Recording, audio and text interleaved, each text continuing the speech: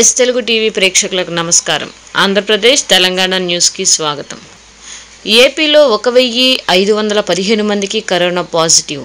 రాష్ట్ర వ్యాప్తంగా గడిచిన ఇరవై నాలుగు గంటల్లో అరవై ఎనిమిది వేల ఎనిమిది వందల అరవై ఐదు మందికి కరోనా పరీక్షలు నిర్వహించగా ఒక వెయ్యి ఐదు వందల పదిహేను పాజిటివ్ కేసులు నమోదయ్యాయి. దీంతో పాటు పాజిటివ్ కేసుల సంఖ్య ఇరవై లక్షల తొమ్మిది వేల రెండు వందల నలభై ఐదుకు చేరింది.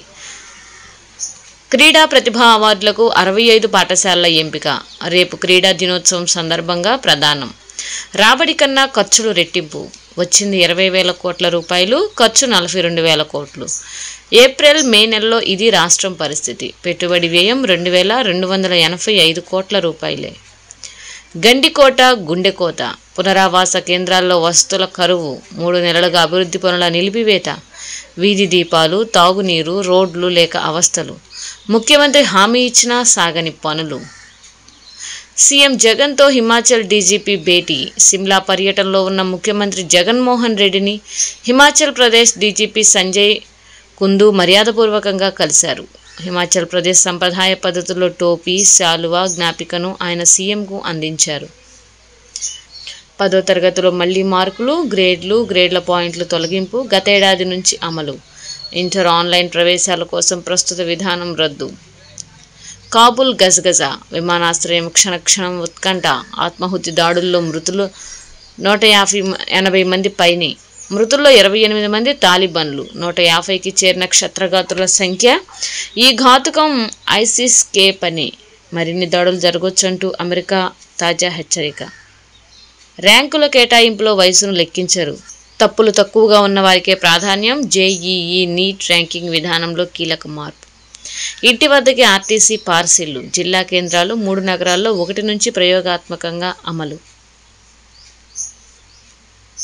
తెలంగాణ న్యూస్కి స్వాగతం.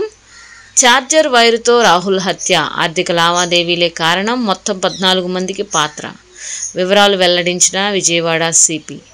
నోడల్ ఏజెన్సీగా కృష్ణ బోర్డ్ పాలమూరుపై మా వాదన వినండి.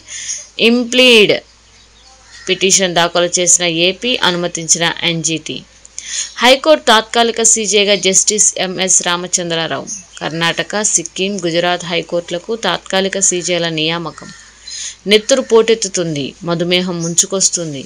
తెలంగాణలో పదిహేను పాయింట్ ఐదు రెండు శాతం ఏపీలో ఇరవై రెండు పాయింట్ ఎనిమిది ఎనిమిది శాతం మందికి రక్తపోటు. రాష్ట్రంలో ఆరు పాయింట్ ఆరు తొమ్మిది శాతం ఆంధ్రాలో ఇరవై మూడు పాయింట్ ఒకటి సున్నా శాతం చక్కెర వ్యాధిగ్రస్తులు. జాతీయ ఆరోగ్య ముఖ చిత్రం ఇరవై ఇరవై వెల్లడి. దళిత రిజర్వేషన్లు పెంచుకునే ప్రయత్నం చేద్దాం. రాష్ట్ర జనాభాలో పద్దెనిమిది శాతం వీరే దళిత బస్తీలోని దారిద్రాన్ని బద్దలు కొట్టాలి. నా చివరి రక్త బొట్టు దాకా శ్రమిస్తా. దళిత బంధు ఓట్ల కోసం కానే కాదు పథక సమీక్షలో సీఎం కేసీఆర్. రాష్ట్రంలో ఇప్పటి వరకు రెండు పాయింట్ రెండు సున్నా లక్షల కోట్ల పెట్టుబడులు వచ్చాయి. వీటి ద్వారా పదిహేను లక్షల మందికి ఉద్యోగ ఉపాధి అవకాశాలు దక్కాయి. అదే పద్ధతిలో ఒకటి పాయింట్ ఏడు ఐదు లక్షల కోట్లు దళితులకు పెట్టుబడి పెట్టడం ద్వారా పునరుత్పాదకత వస్తుంది. తద్వారా లక్షల మందికి దళిత బంధు ఉపాధి కల్పిస్తుంది సీఎం కేసీఆర్. సీఎంపై ఇష్టం వచ్చినట్టు ప్రేలేపనల. ఒక్క కాటుకు చెప్పు దెబ్బ సమాధానం. రేవంత్ రెడ్డి చంద్రబాబు ఆడించే తోలుబొమ్మ. బండి సంజయ్ యాత్ర ఎందుకు చేస్తున్నారో చెప్పాలి మంత్రి కేచి రామారావు.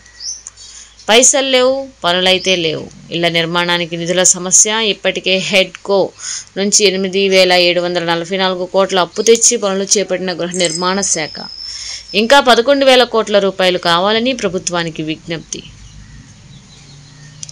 మాటలకే ఉచితం తప్పని రుసుం. వృద్ధాప్య పింఛన్ దరఖాస్తులకు వసూళ్ళ పర్వం మీ సేవా కేంద్రాల్లో అమలుకు నోచని ప్రభుత్వ నిబంధన.